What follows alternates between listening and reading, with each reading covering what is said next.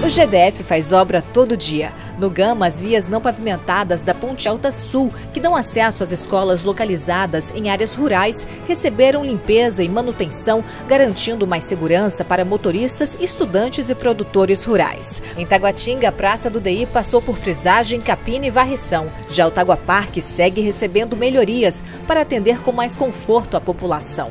O parquinho de madeira foi restaurado. E ainda na cidade, mais de 140 toneladas de massa asfáltica são usadas na recomposição das pistas na QNG8, QSA3 e na CSA7. O asfalto em Ceilândia também está renovado na M2 Sul e as equipes do GDF Presente finalizaram a recuperação da estrada de terra do núcleo rural Boa Esperança. No sol nascente pôr do sol, o pessoal continua trabalhando na ponte do Córrego da Coruja. Agora o local já está com nova sinalização.